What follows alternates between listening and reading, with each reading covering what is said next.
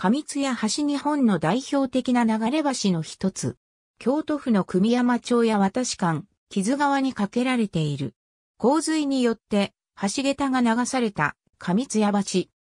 れ橋とは日本やアイルランド、オーストラリアなどに見られる橋の形式の一つであり、固定されていない橋桁が洪水の際に流れてしまうことを想定した橋のこと。橋脚は流出せず、残された橋脚の上に新たに桁をかけることで簡単に復旧できる。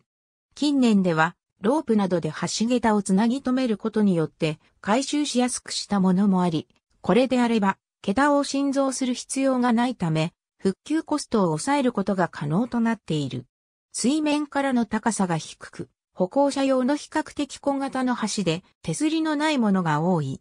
橋桁が流れによって流出するのを覚悟した流れ橋であっても、大雨の時には橋全体が水面下に没する橋である沈下橋、潜水橋、潜り橋と呼ばれている橋が多く、これらの定義は曖昧なものとなっている。昔の日本の土木技術では、河川で大雨の時の強い流れやそれが運ぶ流出物によっても破壊されない橋を作ることは、現在より困難であり、たとえ橋を強固に作ってもそれが流木などをせき止めると付近の土手の決壊を招くため、大雨時にはあえて流れに逆らわず、橋の上部構造体が分解される柔軟な構造が考え出された。水の勢いが収まるのを待って、後日、修理復元できるようにした形式の目標である。現在では、鋼鉄製の丈夫な橋梁が建設できるため、大雨のたびに交通路を失い、修理が必要となる流れ橋は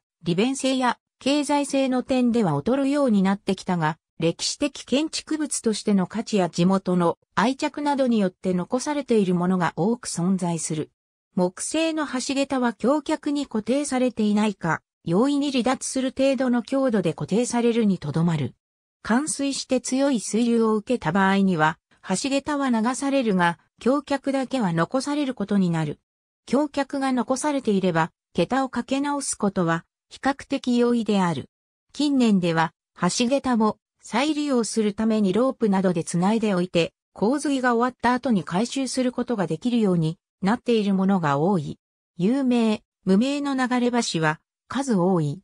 ここでは比較的よく知られたものを示す。ありがとうございます。